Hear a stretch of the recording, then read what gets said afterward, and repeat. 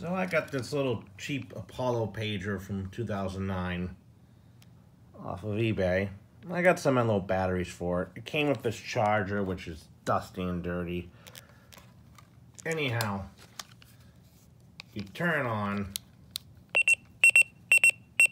powers up and everything great. Well, we had to program it in order to um make it work appropriately because I don't know what frequency this is on. Well, I thought originally it came with um some type of um like I thought for some reason I it came it was like a USB C connector.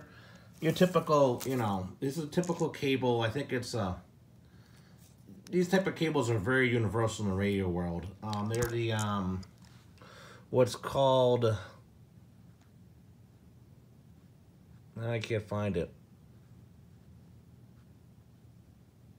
Oh, here it is. It's called um. It's basically a TTL serial cable. It's a serial conversion PL2303. And I got my software. It's the right software. Everything's programmed. Simple pager. I wanted something smaller to carry than a unication pager, which is pretty big, just to have it so I know when something's going down at the fire department. Well, it uses a pinout type paging hookup system, which I think these type of things are from back when we had, um, you know, pagers. And Motorola has carried that over their Minitor line. And um, this Apollo company does the same thing. And apparently this, this, this cradle here, you can't just go out and buy. I got schematics here. Tell me where things go. Which that's very blurry. Um, I'm just giving up on it because it just, it was only 20, 20 $25.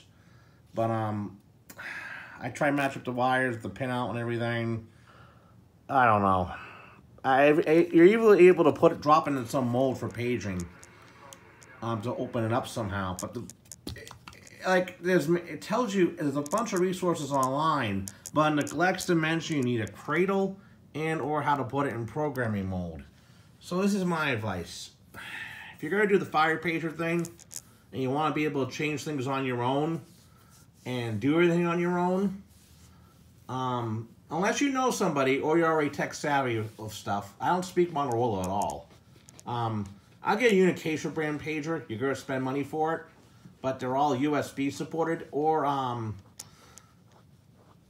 I can't recommend it, but I think um, some other companies make USB programming automatic cables that come with it.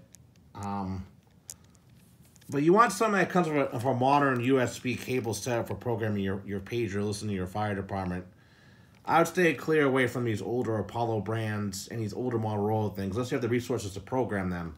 So that's 25 bucks wasted. I can't even do anything with this. I've already asked people if they want to program them, other people I know in the programming community of pagers, and nobody knows anything. So we'll see if anything happens with it, but I might just try reselling this. I don't know. Probably won't get any for it.